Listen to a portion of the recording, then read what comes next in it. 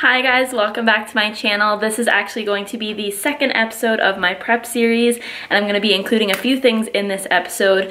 I will update you on my macros and on my cardio for this week now that I'm 19 weeks out and I'm also going to include my first posing practice that I did with my posing coach. And then lastly, I'm going to be doing a low carb go-tos, so my staples that I use when I'm cutting and I need lower carb options. I have a huge list that I'm going to show you guys and I don't have everything currently bought but I am going to show you up on the screen pictures of the different food items that you can get at a local grocery store to help you reach your low carb goals. Alright, so let's get right into the video. And if you do like this video, don't forget to give it a thumbs up. And lastly, don't forget to hit that subscribe button so you don't miss out on my future videos and the rest of my prep. So you can follow me along my journey on my first bodybuilding competition. Alright, let's get to it.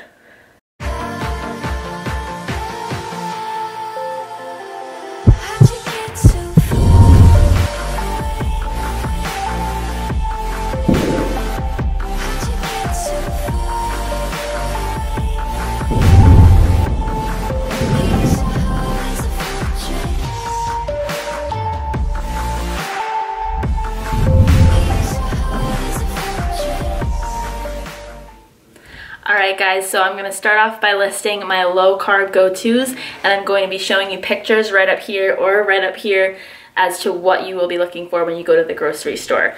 I actually had to write it down because there's so many and I didn't want to forget any, so I will be looking down at this piece of paper so that I don't forget any so you can have all the low carb options that I like to use when I'm cutting. So, the first one is definitely buy a zucchini or a vegetable spiralizer because making zucchini noodles is so easy and you can go to Bed Bath & Beyond and get a spiralizer spiralizer and I will show you the picture of mine right here that I use. And that's super easy. You just spiralize one whole zucchini and you can do anything with it. You can make a stir fry with it with teriyaki or soy sauce. You can add marinara sauce. You can add alfredo sauce vodka sauce. There's so much you can do with it and then you just add a protein to it. And it's low carb it's healthy it's filling and it's great. So that is number one.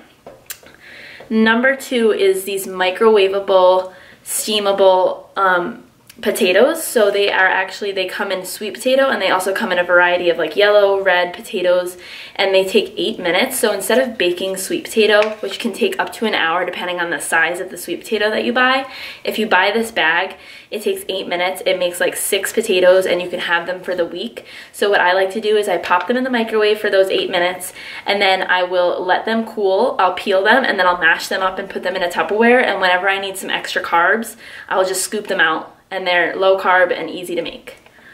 All right, so the next one is cauliflower fried rice, which is kind of a little bit tricky to make, but not that tricky. It's not as hard as you would expect, especially if you buy cauliflower already chopped up. So a lot of um, supermarkets now sell cauliflower that's already like chopped up finely to a rice type of size in the vegetable aisle. So if you buy that, it makes things a lot easier. And let me know in the comments below if you want me to make a cauliflower fried rice recipe video because I definitely will do that if you want it. So yeah, just buy cauliflower already pre-mixed and I like to use either low sodium soy sauce or I will use liquid aminos and I'll throw some vegetables in there and make a like a fried rice stir fry and I'll either use egg whites or I'll use whole eggs to make it like a fried rice. All right, so next is this barbecue sauce. I live by this barbecue sauce. There's also low carb ketchup, which you can just find the reduced sugar ketchup in the ketchup aisle, but this barbecue sauce is so good and I put it on almost everything. Chicken, turkey, burgers, anything. And it's only three carbs a serving. And a serving is pretty, like it's a pretty big amount. So I will put a picture of that right here. Definitely try and look for this in your aisle when you have your condiments because this barbecue sauce is to die for and it's super low carb. All right, so next I have Joseph's Pitas. Josh and I live off of these Joseph pitas. Like he's right now having like a pizza a day or like two or three pizzas a day where we would just, we use this pita bread to make pizzas because each pita is only nine carbs. So it's really great. You can have like two or three of them and be pretty low carb and you don't have to just make pizzas with them. You can make like a little wrap, you can make a little taco with it, you can do anything with it. So these pitas are great. They're high in fiber, high in protein, and I will put a picture of them right over here. All right, so next are these Quaker mini rice cakes. I know that rice cakes can be pretty boring, but Quaker has so many different options where they make these mini rice cakes in sour cream and onion, cheddar, white cheddar, caramel, apple cinnamon, chocolate, um, barbecue. There's so many different flavors that they make it in, so it's kind of like you're eating chips, but it's a lot lower carb and a lot lower fat. So what I do is if at the end of the day I've reached all of my macros, but I haven't reached my carbs and I don't have any more fat left, and no more protein, I'll have these mini rice cakes because then it's an easy way to just get carbs in. All right. Another great thing is popcorner chips. They're a little bit higher in carb than the mini rice cakes and higher in fat, but if you can fit them, they're really good. They're an alternative to like kettle cooked or oil chips that like use oil to fry. So these chips are really good. I have them on the side of like my wraps, on the side of my sandwiches, and just as like a little snack sometimes. Uh, let's see. Pasta Zero. Pasta Zero is like a lifesaver. It isn't, um, I wouldn't say it's like amazing. It's not ramen noodles, but it's pretty close if you know how to season it. So Pasta Zero only has eight carbs for the entire package. And if you rinse it off well and use either like marinara sauce or any type of Italian sauce, or you could even use soy sauce and make it into a stir fry with like Asian vegetables and chicken, it's really good. You just have to season it. I wouldn't eat pasta zero plain, but it's really good if you're on a low carb diet and you want just like something that's similar to pasta. All right, so another thing is Boom Chicka Pop. It's this popcorn that's lower carb. It is a little bit higher on the fat side, but the carbs are great if you're looking for like a flavorful snack. So what I do is if I'm actually going to the movies, I bring my own snacks because I know that the movie theater can be tempting and if you're on a specific diet plan, if you're trying to cut down on fat or trying to get a little bit leaner, it's better to get bring your own snacks to the movies. Just throw it in your purse, hide it in there. We all do it and bring your own snack, even bring your own drink. Sometimes I don't want to spend the money at the movie theater that I just stuff my purse with a drink too. All right, so this next one, I live off this bread. It is amazing. You can do so much with the bread. You can make sandwiches, you can make grilled cheeses, you can make French toast. You can make so much out of this bread and it's called Sara Lee delightful 45 calorie bread and it's so good. Like it does not taste like it only has that many calories in it and it's um 18 carbs for two pieces of bread which is amazing. So you can have like a stack of four french toast and it's still low carb. Really good. And if you want my french toast recipe definitely let me know in the comments below because i will gladly make that video for you guys all right, let's see, what's next? This list is pretty long, so bear with me. The next thing on here is Power Crunch bars. So Power Crunch bars is another snack that I wouldn't really call it a protein bar because it only has 10 grams of protein in it. So that's not really like a hefty amount. It is some protein, but it's not like a protein shake or like chicken or meat or anything like that but it is super low carb. It is higher on the fat side, but if you're on like a higher fat, lower carb diet, then it works perfectly. I love these, especially for when I'm on the go and I just need something that I can't really warm up in the microwave or I can't eat it while I'm driving. So Power Crunch bars are great for when I'm driving. I rotate between night shifts and day shifts as a nurse. So when I'm driving home from a night shift, in order to stay awake, I have to be eating something. So I bring a Power Crunch bar every time and I just eat it while I'm driving and I stay awake and it's like helps me fill up before I go to bed when I do get home from my night shift. All right, so the next thing is low carb wraps. So there is a plethora of wraps that you can buy that are low carb. You just really have to pay attention to the like carb intake because you can find wraps that are 40 grams of carbs and then you can find wraps that are only like 8 grams of carbs. So I'll show you a couple pictures on the sides here of the wraps that I like to buy. Alright, so the last thing on my list is salad dressing. There are these um, Bolthouse salad dressings that I love. I use them not only on salads but just as like a dipping sauce. And these are made out of yogurt, so they are low carb and low fat and they're really good. So I will post pictures of those on the side as well.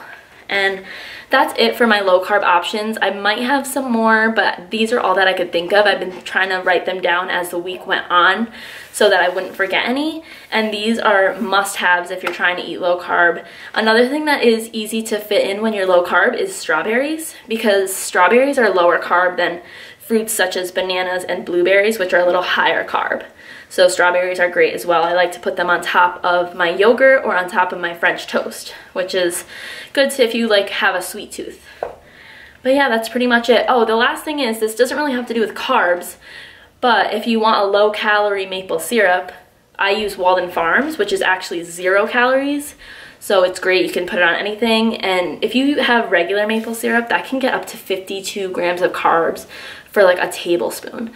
So if you use Walden Farms, you will save yourself a lot of calories. And I like to buy it at either Vitamin Shoppe or on Amazon. Amazon, you can buy it in like bulk. You can buy like a package of six. So I go through it pretty quickly because I like to have pancakes and waffles, as you all know. Hi guys, so I just wanted to give you a quick update on my prep. My macros and my cardio both stayed the same for my second week of prep. So I'm 19 weeks out, it's week two, and they're just staying the same. I did lose about 0.8 pounds last week, and um, my coach and I discussed it and like even though I was supposed to lose about a pound or maybe even a little bit more last week I didn't. But it's really just because my body is adjusting to the deficit because it's a pretty hefty deficit from my original macros before I started prep. And I also am doing more cardio and cardio can actually cause you to retain a little bit of water when you initially bring it on to your body because your body is holding onto the water and it just makes you bloated and sometimes can adjust what you see on the scale. So we decided to keep things the same this week and see how I go. So my starting weight was 137 and that was kind of like a higher weight day for me. Usually I'm 135 but now this week I hit 133.8. So now I'm a little bit more on track and we'll see when I check in with him on Saturday if they're gonna adjust or if they're gonna stay the same for another week. I'm assuming that they're gonna change next week, but we'll see and I will let you know as far as that goes. As far as energy, I feel great. I don't feel fatigued or tired. Yeah, I feel pretty good. It's only week two, so I should be feeling good and I actually hit a new PR on chest press, which was awesome. So even though I'm on a deficit, it's all about your mindset. Yes, you lose a little bit of strength when you cut, but it's all about mindset. You have to just push yourself as hard as you would have pushed when you were on a higher carb diet. So yeah, things are going great so far. I actually already completed all three cardio sessions that I usually do this week. My third one was today. And then tomorrow I'm gonna be doing a refeed and then Saturday I check in with my coach. So we'll see how things go and I will be showing you guys a full day of refeed eating in a future video so stay tuned for that.